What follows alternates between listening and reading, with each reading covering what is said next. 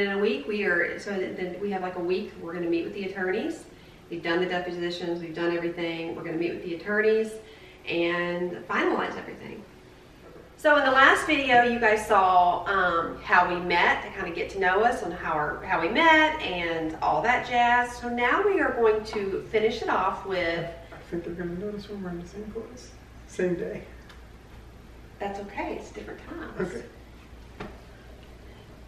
Okay. Um, so, uh, which, what are we doing now? Is it gonna be, So this is after we started dating and then leading up to, so we met in July 2008? 2008, He proposed. New Year's, Year's Eve. Eve. We should talk about their proposal. We should go for We should go talk for about their proposal. Yeah, I think you should talk about their proposal. Okay, so I was wondering if he would propose, but it was so, everything was happening so quick. I mean, we had just met in July. And so, um, I think it was uh, November, I was looking at rings for him. And it was just so, everything was like lightning fast, lightning fast.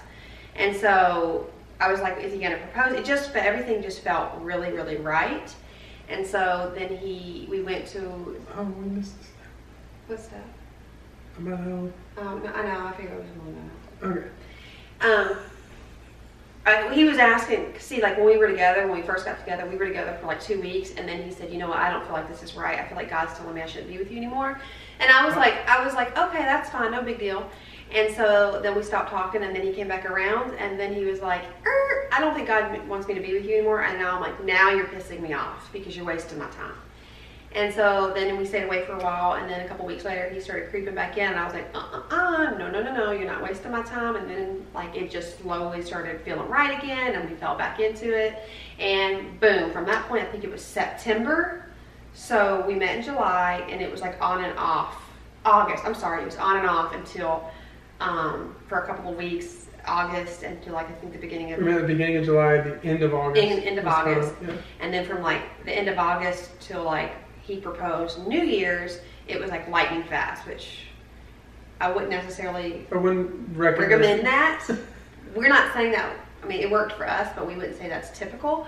And then um, he took me to a, on like a little starlight cruise for the evening for New Year's on this like like cruise ship, which was really cool, and it was exciting. And then he got up. You do the proposal story.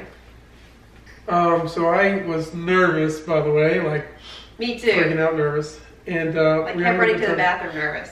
But um, I, the hardest thing was hiding the ring from you. I know. Like it was weird. But um, I had talked to the DJ and asked him um, if he could play a particular song a little bit before New Year's, and I explained to him that I was going to propose. Do you remember the song? K-Ci and JoJo, all my life. Okay, good. So uh, We like a little R&B. yes, and then I, I sang it. No. Well, not in the mic. Oh yeah, yeah, yeah. After you. Like I didn't have a mic, but I, I we I proposed to her, and then they played that song, and then we danced as they were playing that song a little before, like ten minutes before New Year's. It's the ring. See, I had picked out a ring that I had liked, that my mom and I, we had gone and out a ring, and this one jeweler was going out of business, so everything was getting liquidated. And I found this ring that I loved. I thought it was so beautiful. When I was picking it out, I was like, okay, yes, that one. Um, I walked over and I saw this other ring, and I was like, oh, can I just please put it on? And the lady's like, sure. And I put it on, and I could not even. I, I just, it was so beautiful, so sparkly, and I was like, all right. And I handed it back to her. I was like, fine, I, I'll never get this thing. And so when you proposed and you pulled that ring out, I was like, it was that ring, and I'm like, Oh, Okay. my life, and it, he proposed New Year's, and we were married for someone like you. March 14th, 2009. Super fast. So uh, less than a year later, we were married. And it goes so crazy, so fast. Like I said, we wouldn't necessarily, we would not recommend that to anybody, but it just happened. Especially if you have already have kids, I don't recommend that at all. You know, but you know, hindsight's 2020, and you learn, and you wish you could have done things differently. But praise God, we worked out. But because we moved so fast, we had a lot of Difficulties. difficulties. One of which, leading up to our getting married, we were getting married in March. she lost her job February in, in 19th. February. They basically closed that department or They whatever, they were. It was when the economy was going down, and they just let downsizing. so many people go. And I think they realized they had done it a couple times before, and they saved me. I think it's because I was a single mama. But I think when they realized, okay, she's getting married, she's gonna be, she's gonna have some support. They knew that they would be able to let me go, so they let me go, and that was I never thought about that. a really hard hit to my ego, and it's just all of my plans were just shattered. I was like, we're gonna have two incomes, we're gonna be stable. I had all of these ideas of how things were gonna go, and then bam. But I knew I had wanted to be a stay-at-home mom at some point. But Drew at that point was going into VPK. He was three, and he was going into VPK. So I was like, all right. And you said, well, maybe this is your time. Yeah, because she she had been uh, I was getting, hard I was, and I was for a getting long time. Uh, there were many, many times where I was like, is this it? I don't want to work here forever. Um, so I was like, okay. And then I was kind of on the fence if I wanted any more kids because Drew was already growing up. I was like, I don't know if I want any more. I mean, he's already going to be four, starting all over again. And so I told him, I said, you have one month to try, buddy. One month. And it worked. The first try. It did. So That's Liam. So we were married in March, and then knew we were pregnant in July. July, mm-hmm. So we conceived in June, and and then he was born in the next March. March. But I think, um, and then we also we moved. I was living in my little villa, and we got a little townhouse, and we moved. And so, um, I, me losing my job, getting pregnant, moving. My other kids um, had to move schools, which I was really sad about. I tried really hard to keep them in their school. I was just going to drive them there. They weren't able to keep them there because we moved districts. And then I think like, I think the reality of everything just you know, having another baby and everything happening so fast and losing my job and, you know, I think everything was such a whirlwind. And Mhm. also my other, my other marriage was very, it was not like a marriage at all. And I won't get into detail about that just out of respect for them and my kids. Um, it wasn't like a marriage at all. I was all, I've always been, I might have been legally married, but I've always been a single mom. So, um, uh, I think I had different, I had always been kind of running the show and doing what I need to do, how I need to do it, when I need to do it, and I don't ask anybody. And then I met this guy, and he is a more traditional person, and that was definitely a learning curve for me. I had to learn to like let him help me and, you know, be a husband. I had no idea. I did not grow up with a man in my life, never had a dad around me. Um, so he was the first person I had ever met that was like a real good role model for marriage and husband and, and dad and everything, which was hard for me because I come from a very independent mother. And if you want something done, you get it done yourself and you don't ask people for help and you're a go getter. And I'm fine with that, but it definitely was hard for me to um, fall into Adjust. this, adjust to everything. And well, at the, I think at the same time too, I, I, I came in with expectations of certain things, and I didn't really. Uh, I was immature for sure, and I didn't. Um, I don't know. I didn't really know what marriage was. I knew what I thought it could be, and I knew that the the the Hollywood version of how you know a, a perfect romance could be, and what that was like. Kind of the almost I don't want to say fairy tale, but kind of the, you know, all the good about what a marriage could be. And I came in expecting all of those things, and it was really, um, And then also becoming a parent right off the bat of two kids. yeah, And I had my way of doing things, and they weren't necessarily the best way. Um, but when I was a single mom, I mean, the kids, uh, we woke up at six o'clock, we got up, got dressed, ate breakfast, dropped off kids at daycare, went to work, picked them up, ate, baths, cleaned up, homework, bed. There was no, there wasn't much time. It was a very fast-paced life, and I was fine with that. I liked it, but um, when things started slowing down, you know, it was definitely hard. We had a lot of our battle, battles were with the kids because I wanted it my way, and he was like, "That's not the best way," and it was just the way I was comfortable. So it was definitely an adjustment for both of us. But because of all of that, and then all of the changes, and now we're pregnant, it completely cracked. I think by by I was 18 weeks pregnant. So we yeah. So July. So then September we were separated. October. It was October. That was September. Yeah, it was October because I remember we were gonna. You're better at dates. It was October. So in October we separated. I was 18 weeks pregnant, and um, So she she stayed at the the townhouse. townhouse. And you moved. I went back and lived with my parents. His parents, and then with your friend for a while. Yeah, I was just kind of. Kind of going back and forth, and we just split. We split. It was to the point where, quite honestly, we couldn't even really talk to each other. I mean, it, it got it got bad very quickly. very very quickly it was really hard a lot of emotion and i wasn't thinking clearly all the hormones and life changes and um, i think what also had really um, amplified it all was um, i was taking uh, an anti-anxiety anti-depression like a zoloft when i was a single mom because i was going through everything with my ex and so I just stopped that really fast when I found out I was pregnant. I think I stopped it in all of two weeks. And I felt okay, like I didn't feel dizzy or anything, so I figured I was fine. But I think that had a lot to do with it. I did not handle things very well. Now looking back, I realized that wasn't a smart move. But um, I think that definitely um, really added to it. So we split and we tried to talk here and there, but it was just such a disconnect, such a disconnect. It did not work very well. And then um, I was like, okay, well, I'm going to go to counseling. So I started up counseling, and the first two times we went, I think both of us were like, this is, This is not helping. this is not helping. Neither this one is of us is. Yeah. And so I continued to still go, which I'm so thankful I chose to do that. Unbeknownst to me. Yeah.